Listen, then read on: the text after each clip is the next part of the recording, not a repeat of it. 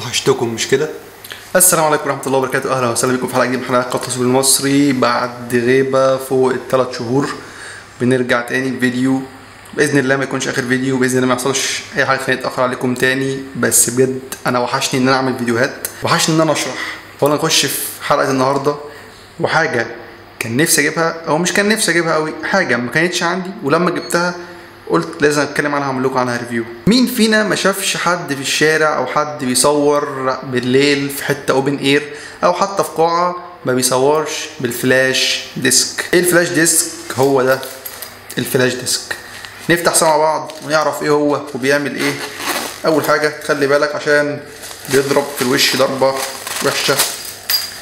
يعني تفتح كده بحذر عشان هو من كتر صغر حجمه هو بإيه؟ خبطته وحشه ده ال flash disc ده modifier أو diffuser للفلاش زي ال diffuser البلاستيك اللي بيجي معاه في العلبة وزي ال diffuser اللي عملت عنه review قبل كده اللي هو نص كوباية كده وزي ال diffuser اللي هو كوباية. بس ده تلاقيه من أشهر ال modifiers أو ال diffusers اللي أنت شفتها على البرامج التانية بقى على اليوتيوب على الحقيقة. فإيه بقى ده؟ وإيه دنيته؟ وسعره؟ ونتائجه وأجيبه ولا ما أجيبوش؟ ده الدور بتاعي النهارده إن أنا أقول لك الكلام ده كله.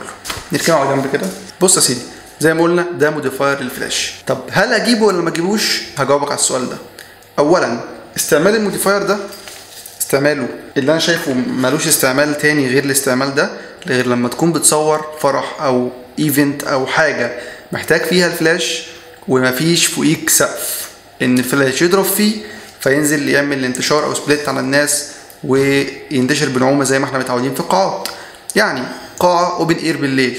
أو event بالليل أو أي حاجة بالليل ملهاش سقف. فالفلاش هيضرب فيها عشان يعمل انتشار على الناس مش هيلاقي حاجة يضرب فيها. ففي حالة ان ملقاش حاجة يضرب فيها النور هيطلع في الهواء. يعني خلاص هو النور طلع لفوق كده. لو جه على الشخص قدامك جزء فهيجي جزء بسيط. في الحالة دي بنلجأ لل flash disc. النور يا باشا بيضرب جوه ال flash disc. ال flash disc بيعمل على أساس إن هو بالبلدي كده السقف أو ال surface أو السطح اللي بيضرب فيه النور فينعكس على الناس. يعني الفلاش بيكون مكانه هنا. دخل الفلاش هنا كده وبيضرب من الناحية دي جوه كده. بينعكس على الناس كده. باعتبارا إن ده السقف اللي هيضرب فيه النور وينعكس على الناس بنعومة. ليه حجم ال flash disc كبير كده؟ ليه ما يكونش مثلا دايرة صغيرة كده؟ عشان النور ينتشر على الناس بنعومة. طب ليه ما نكبرش بقى ال flash disc؟ لأن أنت مش هتركب octa على الكاميرا وأنت بتصور. ده ده كده حجمه على الكاميرا. أصلا بيبقى بعض الأحيان أزمة بتحس إن أنت عندك حمل كده على الكاميرا وحاجة كبيرة على الكاميرا خصوصا واحد زي أنا مش متعود على ال flash disc ده بس جه عندي order أو جه عندي شغل كان فرح open air بالليل. طب أنا اشتغل إزاي؟ open air بالليل يعني محتاج إن أنا حاجة تضرب فيها النور على الناس ناعم. طب أشتغل بفلاش 90 درجة على الناس للأسف هيطلع الإضاءة harsh حتى لو أنا مركب diffuser أنت موجهها على الناس. فلا كنت شاري ال flash disc ده. على فكرة ال flash disc ده مش غالي. سعره كله على بعضه 75 جنيه. ففي أماكن بتبيعه ب 100 جنيه. فيوم ما هيبقى غالي قوي هيبقى ب 100 جنيه. سعره 75 جنيه بيتباع في كل محلات الكاميرات والتصوير فمش مش غالي. في صور هعرضها لكم صورة بالفلاش من غير ال flash disc وصوره بالفلاش بال flash disc. كل الفكرة إن أنت زي ما قلنا وبعيد تاني اعتبر إن ده السقف. أستعمل flash disc indoor ولا هو outdoor بس؟ لا ممكن تستعمله indoor بس في حالة إن السقف بينك وبينه مثلا 5 متر 7 متر اللي هو الإضاءة بتاعت الفلاش مش هتوصل تضرب فيه وتفرش على الناس. يعني في السقف العادي أو فوقيك مثلا بمتر ونص ب 2 متر الكلام بتاع القاعات العادي اللي إحنا عارفينه ده ده تمام. اضرب الفلاش فوق هيعمل split على الناس بنعومة وهينور لك المشهد كله. وعلى فكرة أنا بعشق التصوير بالتكنيك ده. أنا لما استعملت ال flash disc في ال situation أو الموقف اللي أنا كنت محتاجه فيه في ال open air ادى معايا نور لي الناس وخلى اضاءه كويسة. بس بتحس إن الإضاءة مركزة شوية يعني بتنور لك القريب من الكاميرا أكتر. يعني بتخلي اللي وراه مضلم شوية فبتحس الصورة مش حلوة قوي. إنما لما بتصور بالفلاش في قاعة فيها سقف تضرب الفلاش لفوق فينتشر على الناس وعلى الشخص اللي قدامك بتحس إن الشخص منور والقاعة كلها معاك منورة والصورة كلها على بعضها منورة وجميلة. مش معنى كده إن ال flash disk وحش؟ flash disk ليه أوضاعه اللي تستعمله فيها. في ناس كل استعمالها flash disk ان كل تصويرها مثلا زي حفلات زي حاجات open air فهو مفيش modifier هيأدي معاه زي ال flash disk إنما في ناس بتستعمله عمال على بطال بالنهار وبالليل في الشارع وبنشوف المناظر دي كتير خصوصا على البرامج اللي عليها فيديوهات 30 ثانية بلاش نقول أسماء. فيا جماعة ال flash disk استعماله بيكون في ال open air بالليل أو لما تكون محتاج إضاءة يا عم. إنما مش بالنهار مش الساعة 2 الظهر ولا 12 الظهر. تركبه على الكاميرا على الفلاش وتصور بيه. وممكن كمان ما تشغلوش يعني هو مش منظر بس يعني هو مش منظرة. ده هو أصلا بيحسسك إن الكاميرا حجمها كبير. فأنا واحد من الناس ما حبيتش ال look ده. فأجيبه ولا ما أجيبوش؟ حسب نوع تصويرك زي ما قلت لك. بتصور في قاعات مقفولة ما تجيبوش. ممكن تصور أصلا بالفلاش من غير modifier أنت بتضربه في السقف كده كده. في حالة إن أنت مركب ال flash disk عشان نكون متفقين بس الفلاش مش هيتني معاك لقدام ولا لورا يعني هو أداؤه أو هو معمول عشان ال flash disk يتحط عليه كده بس. يعني هو يتحط عليه بالطول كده واقف. نيجي ناخد صورة بورتريه مثلا مايل الكاميرا كده. ال flash disk متوجه ناحية الشمال. خلي بالك عشان ممكن ينور لك جزء من الشخص أكتر من الجزء التاني. حاول وأنت مركب ال flash disk تاخد كل صورك landscape بالعرض.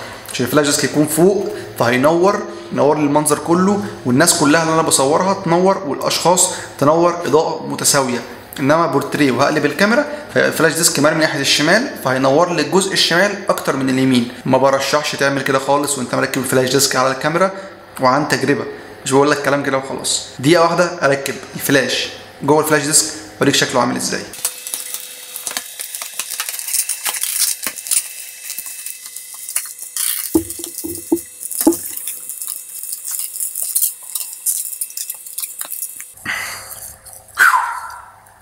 ده منظر الفلاش على ال flash disk. أنا ما بحبش المنظر ده بس بيبقى عليا أوقات ببقى مضطر إن أنا أستعمله عشان open air مفيش سقف. هستعمله إزاي؟ الأستك بتاع ال flash disk عشان بس تبقى عارف بيكون ضيق حبتين 3 4 هتركب الفلاش بصعوبة بس هو معمول كده عشان ما يفوتش منك أو ما يوسعش منك مع الوقت أو يقعد معاك فترة طويلة ما يبقاش يعني ما يبهوأش منك بمعنى أصح. عشان ما تقولش لا ده ضيق قوي الفلاش مش داخل وأنا هغيره. لا ما تغيروش. بيخش عادي اهو تمام جدا. بس بص ما شاء الله يعني ماسك مش أي خبطة. عشان ده بيتخبط كتير منك في القاعة. اوعى تفكر إن هو كده بسهولة. لا لا لا بيتخبط منك في القاعة كتير. مش أي خبطة هيقع. وبص اللي بتكلم فيه إن أنت عايز مثلا تتني الفلاش بتاع الموضوع معاك هيبقى صعب يعني. بص مفيش مجال أصلا أنت تتنيه أساسا يعني. ده لورا كده بص لو تنيته هيبقى عامل إزاي؟ هتنور كده إزاي ولا هتصور حد كده إزاي؟ مفيش هيتني معاك بس ملوش لازمة. هو برضه التصوير بيكون بالشكل ده مالكش دعوة أنا بصور يعني أنا بوريك هنا في فلاش كده عشان ما إن أنا بعمله بطريقة مختلفة. هو بيركب كده على الكاميرا. حتة البورتريه اللي لسه قايلها بيبقى مايل يعني أنت بتركب على الكاميرا تاخد بورتريه بالطول فبتميل الكاميرا فبيبقى الفلاش كده. طب شكرا هو نور لك جزء الشمال وما نورلكش اليمين أو نوره ب... ب... مش بتساوي فما تعملش كده. هل ال flash disk لما بيتوسخ بيتغسل؟ شخصيا لغاية دلوقتي ما جربتش. بس عمليا أنا شايف إن هو ماشي. لو اترمى في الغسالة وخد له دورة كده ربع ساعة مش هيحصل له حاجة. ده هو كله على بعضه قماش وجوه سلك ماسكه عشان ما ما يتنيش معاك أو لما يتني يتفرد بسهولة. بس كده. أعتقد الموضوع بسيط. وحلقة لذيذة كده خفيفة عليكم. ال flash disk شفته كتير قوي. بس ممكن تكون ما كنتش عارف استعماله إيه. فديني عرفتك. ولو هينفعك اشتريه. مش هينفعك ما تشتريهوش. قطعة مش هتزود كتير قوي لعدتك بس لو open air هتزود لك جامد ومش غالية يعني حتى ممكن تشتريه لو عندك event أو حاجة مرة وتشيله مش هيخسر معاك. أنا من ساعة ما اشتريته استعملته مرة واحدة بس ما جاليش حاجة تانية open air إن أنا استعمله فيها فشايله. كده كده سعره مش غالي زي ما قلنا حوالي 75 جنيه أو 100 جنيه وبس كده. يا رب أكون أفدتك ويا رب تكون استمتعت بالحلقة اللي راجعين بيها كده بنسخن بيها بس. وما تنساش في الكومنتات هتقول لي أنت معاك flash disk ولا معكش flash disk ويا ريت دعوة حلوة منك في الكومنتات وبينك وبين نفسك يا أخي مش مشكلة. سيبك من ال like ومن ال share ومن ال comment دعوة حلوة بس كده بظهر الغيب وسلام.